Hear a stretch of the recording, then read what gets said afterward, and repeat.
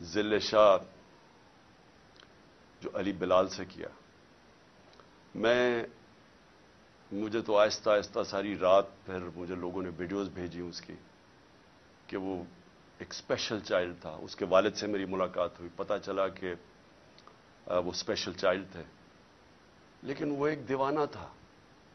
तो उसको सोचें कि जिस बेदर्दी से उसे कत्ल किया गया झूठ बोला गया कि नहीं जी, ये तो कोई पुरानी जब उसको उठा के पुलिस लेके जा रही थी। आई विटनेस सामने है। सबको पता क्या हुआ। उसको उठा के लेके गए और उसको जब कत्ल किया, उसकी सड़क के ऊपर उसकी लाश फेंक दी। एक ड्राइवर ने उसको उठा के सर्विसेज़ हॉस्पिटल लेके गया।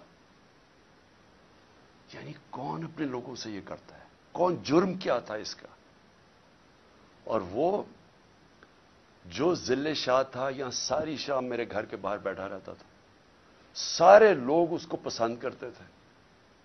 वो एक ऐसा इंसान था, यानी वो किसी का को कोई बिगाड़ ही नहीं सकता था। मुझे सुबह के पाँच बजे आवाज़ें आती थी उसकी, बाहर से इमरान खान को वो आवाज़ें दे रहा होता था। और मुझे अफसोस यह है कि मुझे मौका ही नहीं मिला उसको मिलने का। मुझे सिर्फ़ वीडियो से पता चला उसका। और तकलीफ़ दे चीज़ यह है कि इस तरह के आदमी को इन्होंने कत्ल करके सड़क पे फेंक दिया।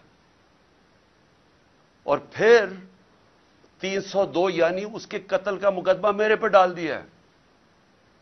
दो और मुकदमे डाल दिए मेरे अब तकरीबन अठहत्तर केसेस हो गए मेरे ऊपर। इसका कत्ल का भी डाल दिया। ये है पाकिस्तान में इस वक्त इस वक्त हालात।